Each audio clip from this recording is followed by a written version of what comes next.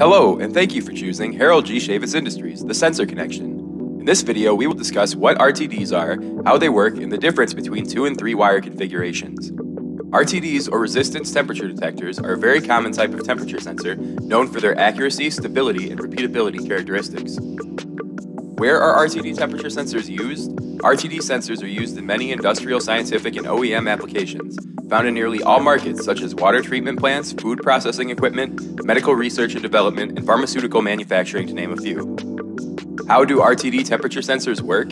Within an RTD temperature sensor is an RTD element. The element operates by measuring the change in resistance of a thin wire wound on an insulated form or coiled up in a self supporting structure. Most often, the wire is made of pure or slightly doped platinum a material that exhibits a very stable and linear change in resistance over a wide range of temperatures.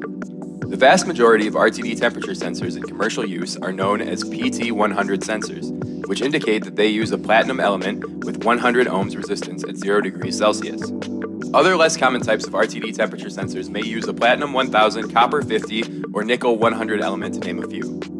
What is the difference between two and three wire configurations? While the element itself only requires two connections, the actual RTD hookup may utilize two or three lead wires. The drawback of the simple two wire connection is that in addition to measuring the resistance of the element, the R1 and R2 lead wires also have a resistance which can introduce offset errors into the measurement. As a result, a two wire RTD connection is mostly used in applications where the lead wires are very short or if the measurement accuracy and precision are not critical. The three wire RTD connection is far more common. The resistance of the element, including the R1 and R2 lead wires, are measured. Then the resistance is also measured through the R2 and R3 lead wires. This allows the measuring instrument to account for the resistance of the lead wires, thereby allowing a more accurate temperature measurement to be calculated.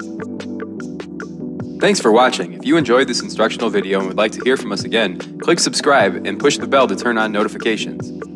For additional technical resources, please visit our website, hgsind.com. Harold G. Schaevitz Industries. Performance and reliability is our business. Thanks for being on our team.